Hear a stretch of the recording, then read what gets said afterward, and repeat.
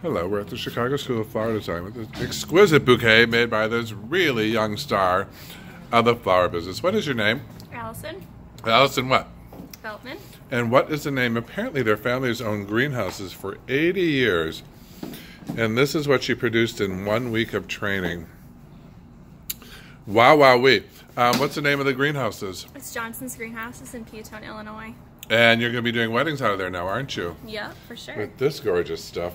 Mm. And you had never done flowers before we met a week ago, correct? She is correct. Um, almost every piece you did this week was perfect. What do you attribute that to? You. She's also to me. Thank you. She's also a ballet dancer and a horse girl. So I mean, she's got it all right there. um, what was the hardest thing you learned? There wasn't anything. Never mind. There wasn't anything hard for you. Exquisite. Um, I don't know what else to ask you. Your work is just so beautiful. I can't stop photographing it. Uh, oh, one more time. Name of the greenhouse? Johnson's Greenhouses. Stop in and visit who? Allie. And order your wedding flowers from? Us. Thank you.